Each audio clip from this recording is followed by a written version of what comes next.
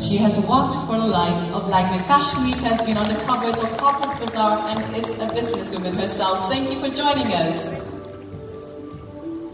And the fourth person joining our panel of judges is the beautiful Mrs. Bambi Kevichusa. If you could please stand up. She's a bridal designer based in Nagaland and she designs under the label Bambi K and is also the creative head of the newly launched sustainable clothing label Bambi K and is a member of Bonji Artistry, a model and fashion management company.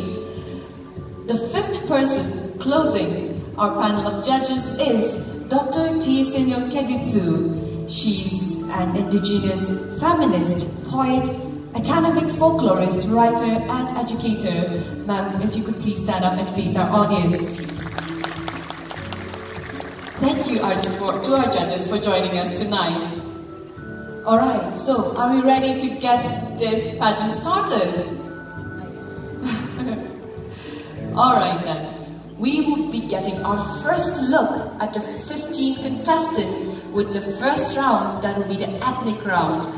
Our contestants will be wearing their respective traditional attires. Our judges are all getting ready and everybody is excited to begin this. So without any further ado, getting your first look in the ethnic future, in the ethnic round, ladies and gentlemen, please welcome our 15 contestants on stage.